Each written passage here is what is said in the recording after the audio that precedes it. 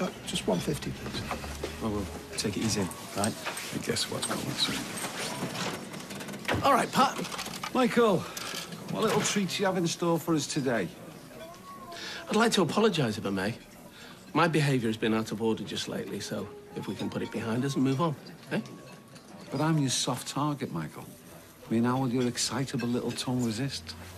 There's three witnesses here, if I go back on my word. I mean, we can't go on hurling insults at each other, can we? So what do you say?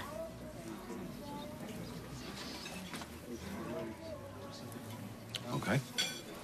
Live and let live, eh? Time will tell. Two teas, Roy, please.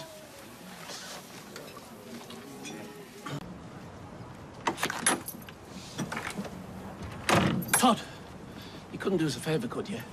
What? I left my electric blanket cable in your house when I used to live there. You couldn't get it for me, could you? Where is it? It'll be upstairs in the cupboard.